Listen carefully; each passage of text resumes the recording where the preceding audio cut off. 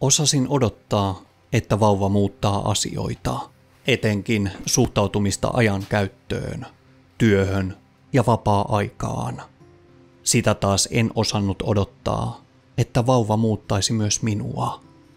Vanhemmalla on usein vauvaan kohdistuvia tunteita, ajatuksia ja toiveita jo ennen vauvan syntymää, ehkä joillakin jo ennen raskauttakin. Vanhempien kiintyminen ja suhteen luominen vauvaan alkaa jo raskausaikana. Aina näin ei kuitenkaan välttämättä ole, ja voi olla, että joillekin meistä elämän kehittymistä aluksi etäämmältä seuraaville isille koko ajatus vauvasta ennen syntymää on lopulta liian abstrakti möhkäle täysin käsitettäväksi. Sanotaan, että vauvan syntymä muuttaa kaiken. Siltikin kiinnittyminen vauvaan voi kestää aikansa, niin äidillä kuin isälläkin. Tuore isä voi tuntea olonsa ulkopuoliseksi ja perheensä vieraaksi. Isä voi kamppailla oman ajan puutteen ja riittämättömyyden tunteiden kanssa tai kokea olonsa tarpeettomaksi. Myös isä voi sairastua synnytyksen jälkeiseen masennukseen. Isyys onkin väistämättä itsetutkiskelun paikka. Se voi nostattaa ajatuksia ja tunteita omasta isäkokemuksesta tai rikkonaisesta lapsuudesta. Parhaassa tapauksessa lapsen saaminen ja kehittyvä vanhemmuus voi olla korjaava kokemus. Siksi onkin erittäin tärkeää, että isä heti alusta alkaen ottaa lasta iholle, hellii ja höpöttelee, viettää aikaa ja vaihtaa vaippoja, nukuttaa ja osallistuu. Näin luodaan molemminpuolinen perusta kiintymyssuhteelle, joka tuo vauvalle perusturvallisuuden ja luottamuksen kokemuksen.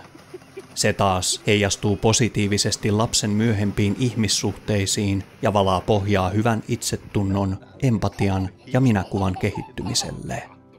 Sitoutunut isä säteilee hyvinvointia ympäristöönsä.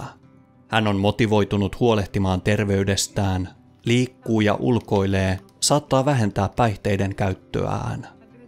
Isyyteen sitoutuminen tukee miehen aikuisiän kehitystä, nostattaa itsetuntoa ja tyytyväisyyttä elämään. Tie miehestä isäksi on pitkä. Jo nyt olen huomannut, että lapsen saaminen on lisännyt esimerkiksi sitkeyttäni ja rauhallisuuttani. Olen kokenut itseni aikuisiällä monesti melko kömpelöksi lasten kanssa, mutta nykyään osaan leikkiä, keksin puuhaa, kannustan ja kehun. Olen myös oppinut huomioimaan muut lapset paremmin, esimerkiksi pihamme hiekkalaatikolla. Omalta lapselta saatu suora vilpitön palaute kannustaa jatkamaan. Syntyy eräänlainen positiivinen onnistumisen kierre – se jos mikä tasoittaa tietä kohti sitoutunutta isyyttä. On ihanaa seurata oman lapsensa kehitystä. Kääntymään oppimista, jokeltelua, ensimmäisiä askeleita. Samalla pääsee seuraamaan omaa kehitystään vanhempana ja ihmisenä. Ja joka päivä minä ja lapseni opimme toisistamme uutta. Isäksi voi olla helppokin tulla, mutta sitoutuneeksi ja vastuuta kantavaksi isäksi. Siihen kasvetaan.